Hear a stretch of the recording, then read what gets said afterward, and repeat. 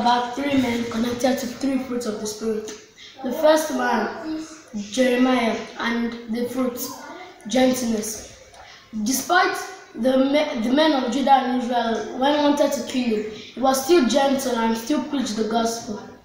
The second man, which is David, and the fruit connected to it is faithfulness.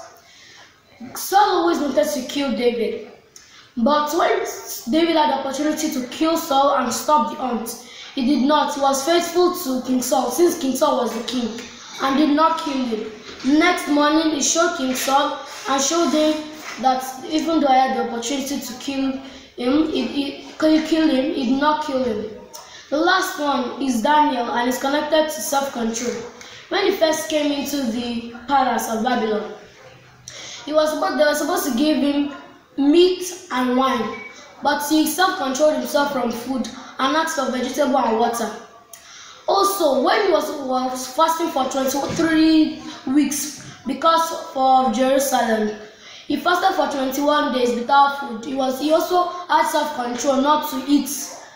We let's pray that God do not that will keep that will have self-control, will be faithful, and also be gentle.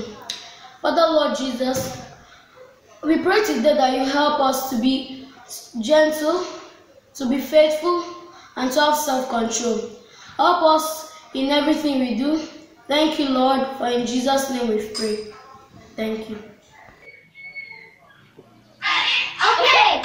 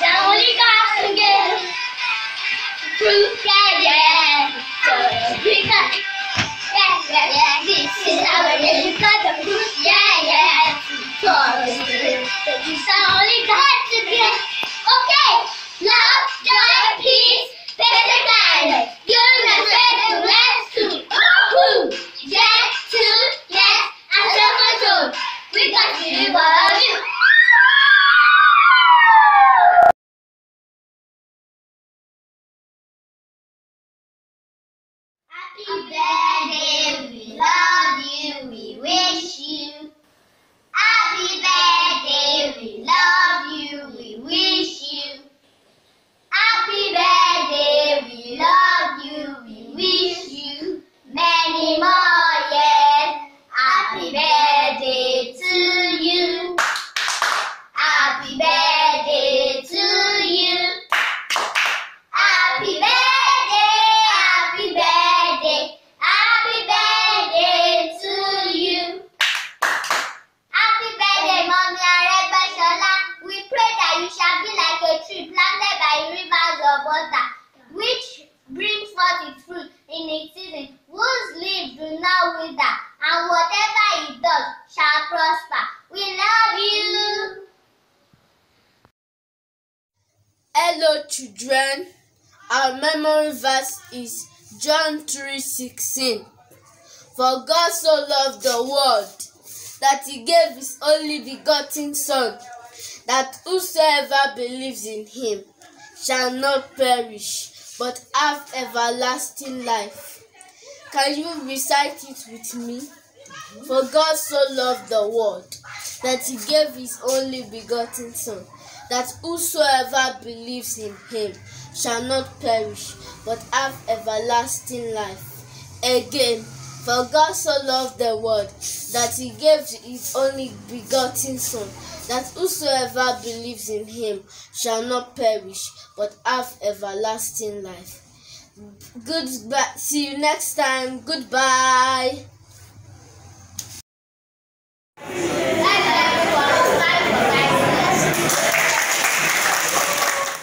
Hello, children. It's another time to learn from the Word of God. But today, we are not going to have a Bible lesson, but what? A story. Today, it is a story time. And the title of our story is Audu's Hen. Can you say after me? Audu's Hen. Let us pray. Heavenly Father, we thank you, we bless you. Thank you for another wonderful time to learn from you. Lord, we pray that you give us understand, understanding of your word today in the name of Jesus. At the end of this uh, service today, we ask, Lord, that you, you, you change our hearts in the name of Jesus. You will teach us your word and we always remember in Jesus' name. Thank you, Father. In Jesus' name we have prayed. Amen. Praise the Lord. As I said earlier, the title of our story today is Audu's Hen. So please be attentive and uh, open your hearts to receive from God. God bless you. Story, story, story. Once upon a time, time, time, there was a boy whose name was Audu. And that's the boy in our story today. Audu was the youngest in his family. He had a sister, a brother, mother, and father. Altogether, they were five in Audu's family their parents, two siblings, and Audu. Audu was the youngest child. Their mother, Mrs. Musa, always made sure that the house was very clean and she taught her children, all of them, she taught all of them what to do. The elder sister was the one who always washed their dishes.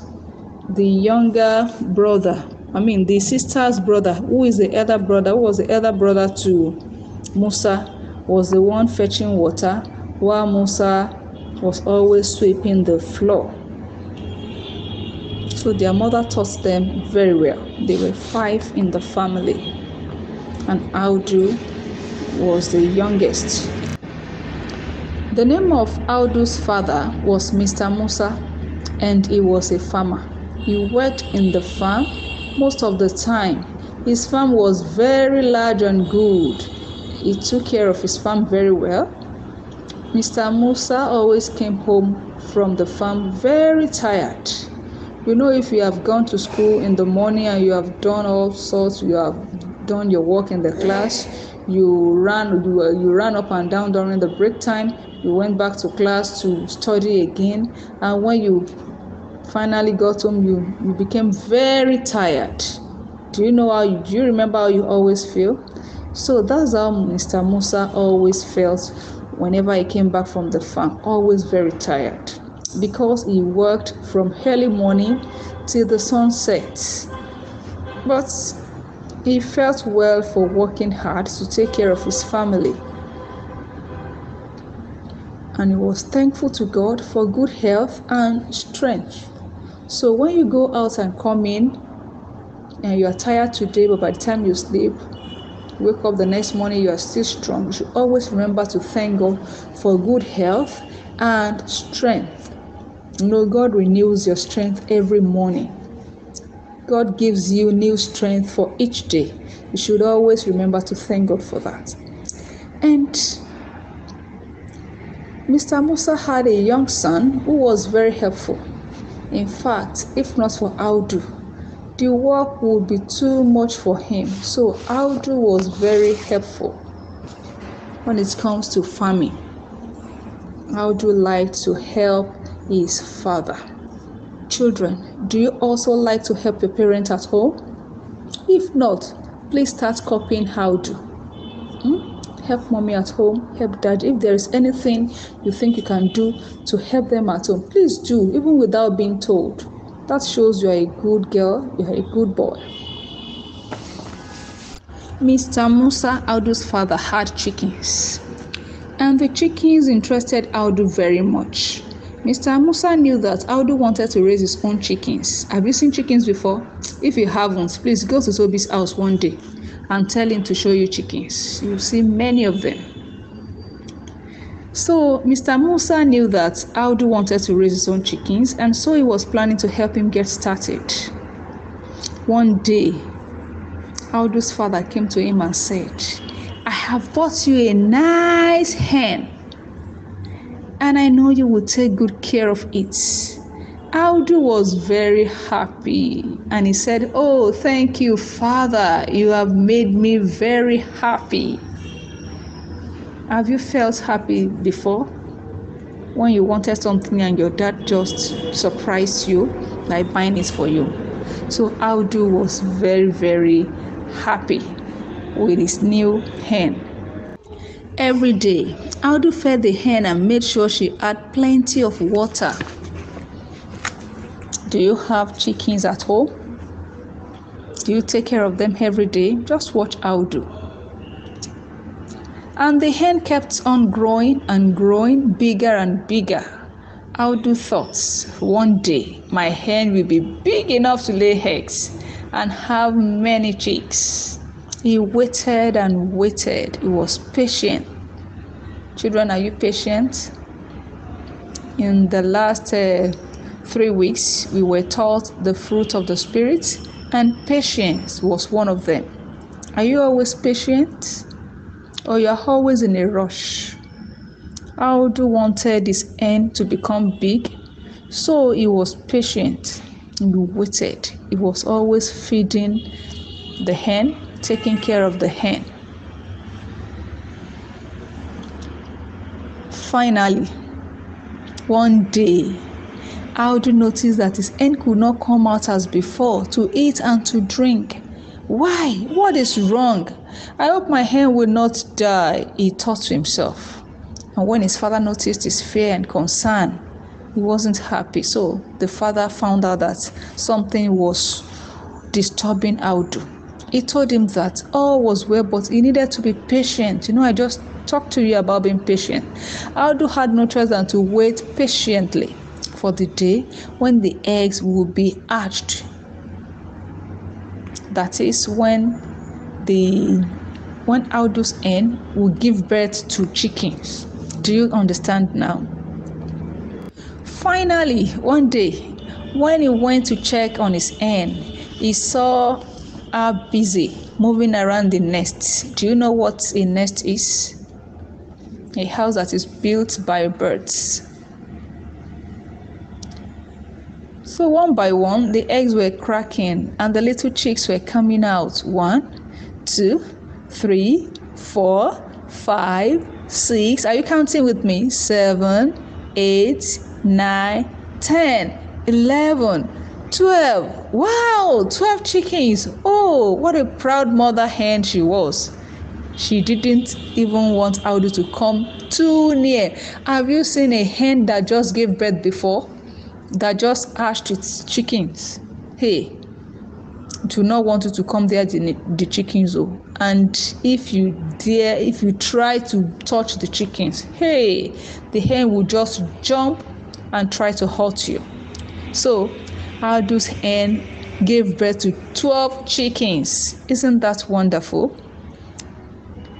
She was going to make sure nothing happened to her little family the hen was so proud of her children is there something that you want and you have been waiting, you have been working to receive it? Just be patient like Audu. You will see it. Now Audu is happy. Every day, the mother hen walked around with her chicks. She taught them how to scratch for food. She taught them to always listen to her command. Do you always listen to mommy and daddy? Let us continue to see what happens next. Because the hen told them that they might not know when danger was near. She was such a good mother. If your mommy is there, say thank you, mommy. Thank you, daddy. Yes. The little chicks learned quickly, but there was one of them who would like to be independent just like to be on its own and would not always run quickly when the mother hen called them to follow her. Run quickly, there is danger, the mother hen would say, but she thought they would learn if she kept trying to train them. Can you see that? There was one of the chickens that learned that liked to be independent doesn't like to follow instructions. I believe you are not like that. Now that you are still children, you should depend on your parents, listen to them, take instructions from them because they love you and they always want the best for you. Don't be like that independent chicken.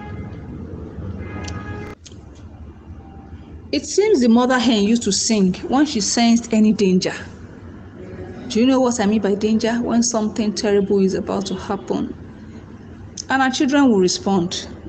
So the mother hen will say, All my children follow me. Ooh yeah yeah, ooh yeah yeah. All my children follow me. Ooh yeah yeah, ooh yeah yeah. So one day, Mr. Dogo, who was living nearby, was burning the bush by the side of his house.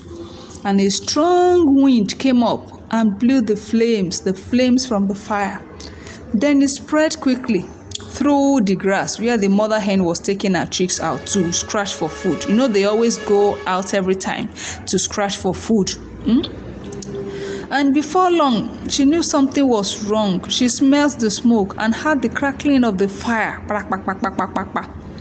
And quickly, she called her chicks to come to her all my children follow me. Ooh yeah yeah, ooh yeah yeah. All my children follow me. Ooh yeah yeah, ooh yeah yeah. And they began to run towards her, towards their mother. You know, when you notice danger, even if your mommy or daddy is not around, what's the first thing you say? My mommy or my daddy? So, something. They were running towards their mother.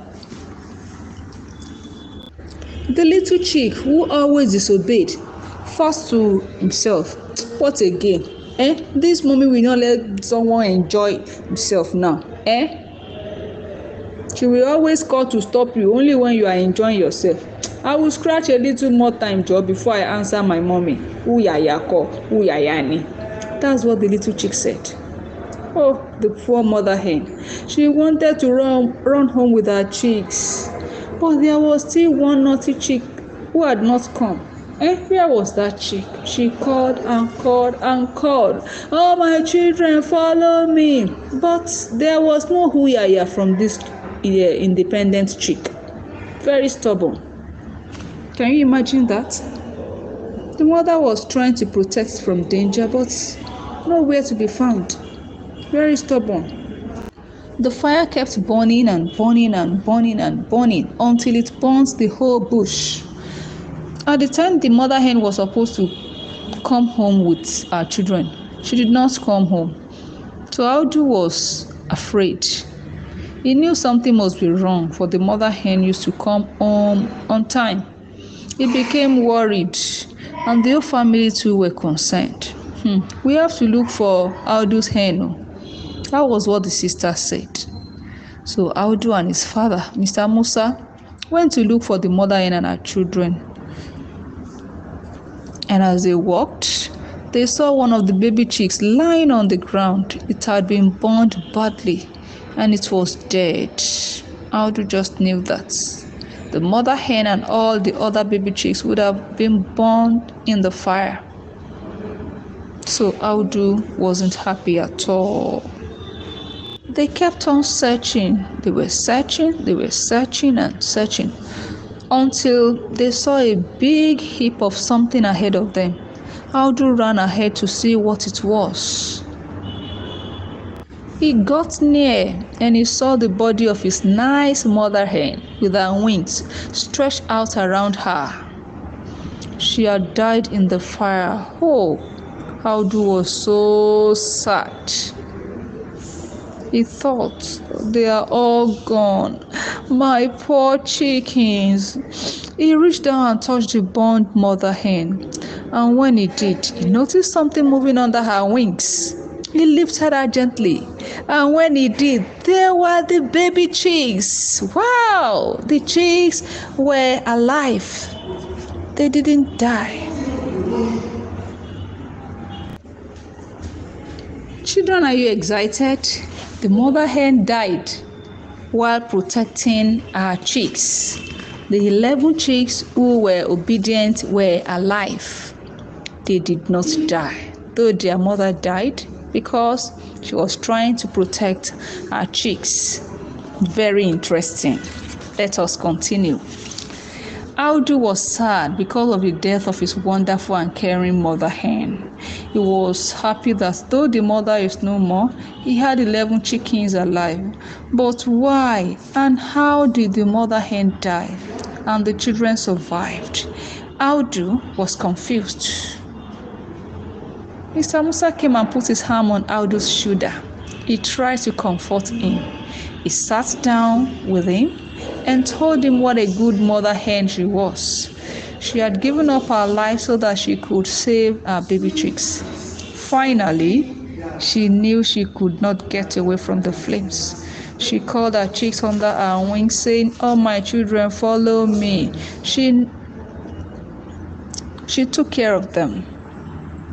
She covered them with her own wings. She did her best to protect them. Mr. Musa also reminded Aidu Audu of one man that is more caring to mankind than the mother hen. Do you know his name? His name is Jesus Christ, the only Son of God. As the mother hen was calling her children, Jesus also is calling everybody, singing passionately. All my children follow me. Mother hen died to save her children from the fire.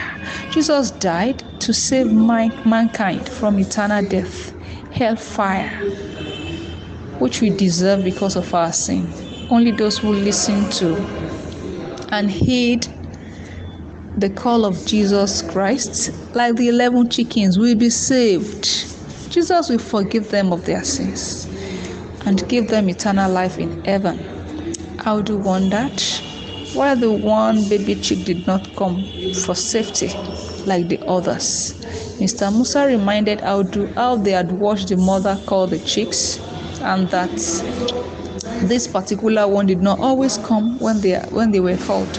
And perhaps today this one had decided again to go its own way and had not obeyed the mother's call. Because of this, it had lost its life.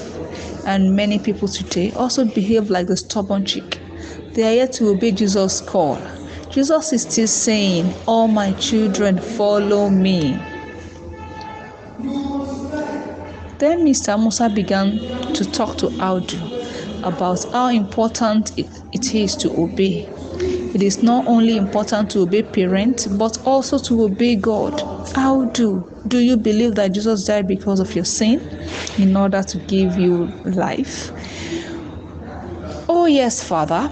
Audu said, My mother hen died to give life to her baby chicks.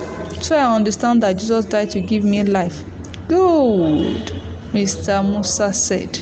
But have you answered the call of Jesus? All my children follow me. No, Audu replied. Do you want to follow Jesus now? Yes, so I don't want to end my life the way the stubborn chick did. So pray right now and thank Jesus for dying for you.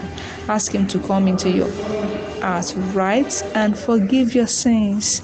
Then thank Him for eternal life. Audu bowed his head and began to pray. Dear Heavenly Father, I have been disobedient like my baby chick that died. Please forgive my sin and come into my life. I'm ready to be your obedient child. Thank you for dying for me and thank you for giving me eternal life. Amen. End of story. Hello, children. We have come to the end of the story. I believe you have been blessed. Let us pray. Dear Heavenly Father, we thank you for today's story. We thank you because you have taught us a lot. You've taught us about patience, about obedience, about the death of Jesus Christ. Lord Jesus, we ask that you will help us to be obedient at all times in Jesus' name.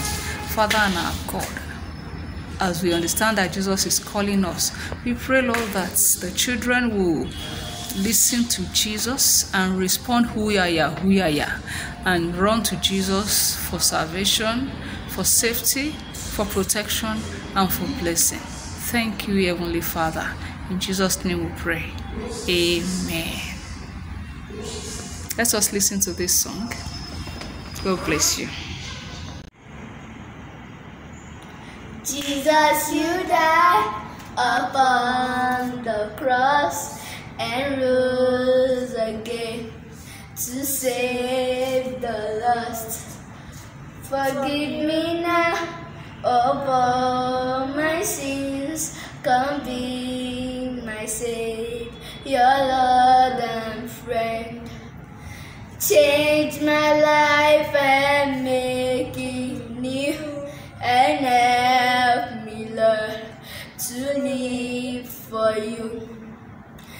Change my life and make